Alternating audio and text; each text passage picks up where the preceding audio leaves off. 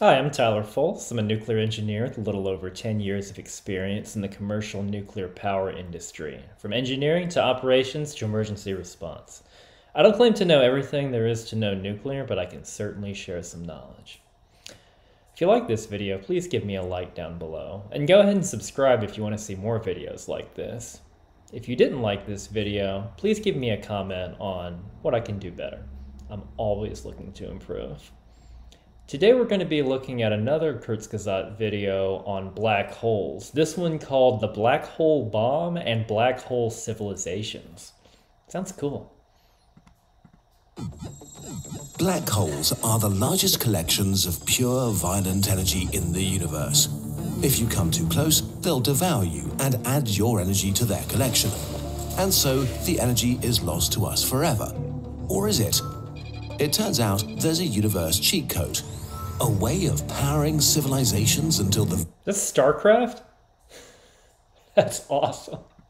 Death of everything, or of constructing the largest bomb in the universe. But how?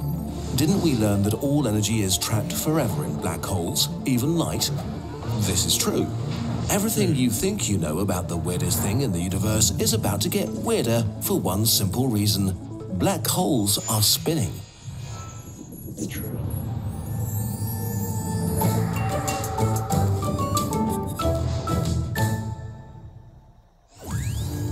Why black holes spin?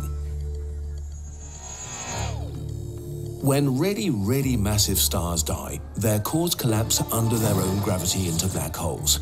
This means something very big becomes very, very tiny, like the tiniest anything can be in this universe. But stars are rotating, and a fundamental property of our universe is that things that are spinning don't want to stop spinning. We call this angular momentum, and this angular momentum can't go away. A big thing that spins and becomes smaller spins faster. So, as the core of a star collapses, its momentum makes it spin faster and faster and faster until it collapses into a black hole. And the black hole keeps on spinning, inconceivably fast. Some of them spin millions of times a second. Why spinning black holes are special just like non-spinning black holes, spinning black holes anything to do with math and physics of these things infinite density, infinite mass, absurdly high angular momentum that figures out to 90% the speed of light. Uh, they're just fascinating. Have an event horizon and a singularity at their core where all of their mass is concentrated. The singularity is usually described as a single, infinitely small point with no surface area. But points can't rotate, so a rotating singularity can't be a point. Instead, it's a ringularity. A ringularity is a ring with a thickness of zero and no surface, awesome spinning extremely fast, containing all the mass of the black hole. The black hole is spinning so fast that it morphs space and time itself, it literally drags space with it, such is its power.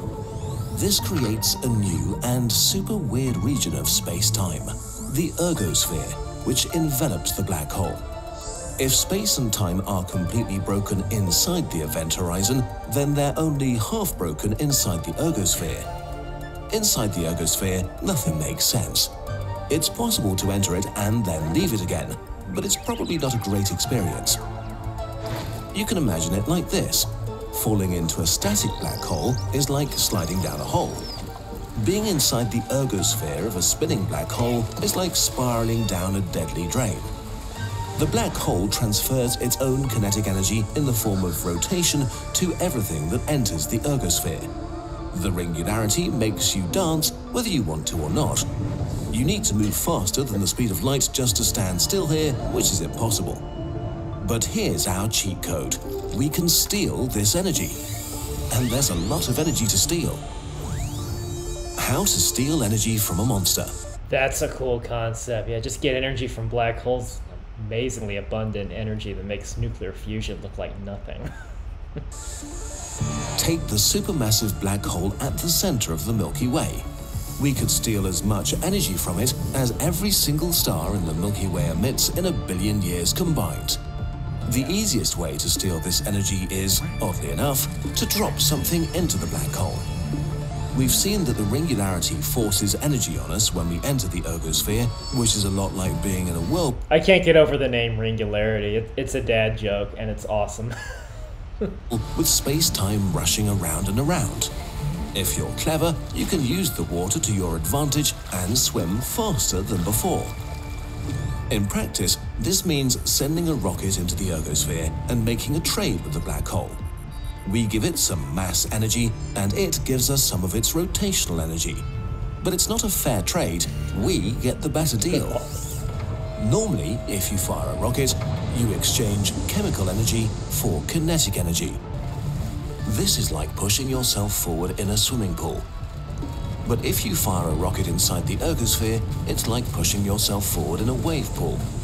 The rotational energy of the waves gives you a much stronger boost than you could get just by pushing yourself. The boost from the rotation of the black hole is so big that you leave the ergosphere with much more energy than you entered it. The black hole gives a tiny amount of its rotational energy to you and slows down a little. Obviously, this requires a lot. Kind of makes sense. It's like when you give yourself a boost when you're have your buddy spin you really really fast on a merry-go-round and then you jump off. Eh, it's sort of it's sort of the same thing, right? Food. Fortunately, black holes aren't picky eaters.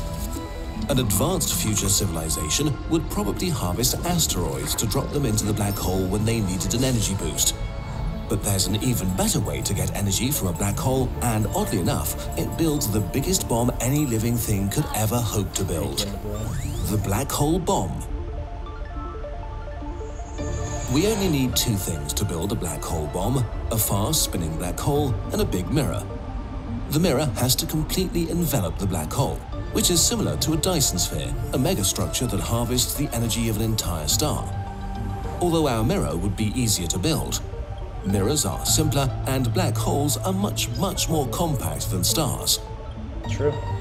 If we made the mirror 10 centimeters thick, the metal of a big asteroid would probably be enough material for a black hole with the mass of our Sun.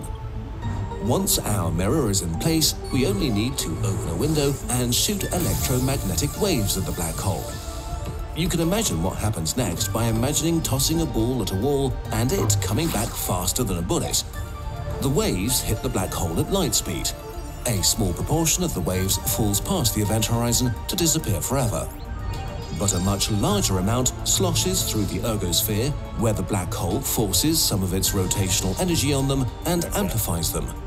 They now begin super radiant scattering, which are fancy science words meaning bouncing around between mirror and black hole and getting stronger. Every time exponentially stronger, and then okay, I see where they're going with this. Around, they are getting exponentially stronger. By opening some windows in the mirror, we can extract the energy from the waves as fast as they grow, which we could use, in theory, to create what would be, for all practical purposes, an endless source of energy for trillions of years. Or we could blow it up. If the waves are not released, they will continue to get stronger and stronger and take more and more energy from the black hole until the mirror shatters.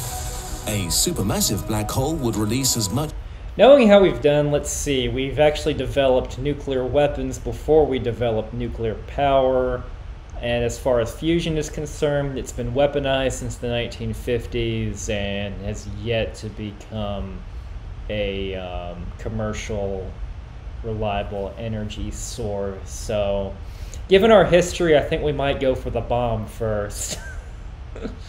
energy as a supernova, making the bomb the largest explosion any living being could ever create. The last home in a dying universe. The beauty of the black hole bomb, the Penrose process, and the super radiant scattering is that they are not science fiction. In the far, far future, this might be the only way to survive in our dying universe. After all the red dwarfs have cooled down and all the white dwarfs transformed into black dwarfs, the universe will turn dark forever. Rotating black holes might be the only sources of energy in the entire universe that life could harvest. If so, the last living being in existence might one day end its life around a black hole, which is equally chilling and uplifting. It turns out that even without any light, there are places we can go. Black holes are as interesting as they are mysterious, but there's actually That's a cool concept, and it sounds like it's a lot more practical than even a uh, Dyson sphere, Dyson swarm, just because you you can put a lot. You don't need nearly as much material. Yeah, if you don't want you don't want to get sucked into it, and you know it's a lot. You have to go a lot further away from just our solar system in order to find a black hole that's a suitable candidate to do that. But it's a it's a fascinating idea. I, I, really like the idea of using that super high gravitational energy. You can imagine what we could be capable of with that. What do you think about it? Do you think um, it's better than a Dyson sphere, comparable? Um, you should have both. I'm all, I'm all for having more sources anyway of energy. Thank you very much for watching. I'll see you next time.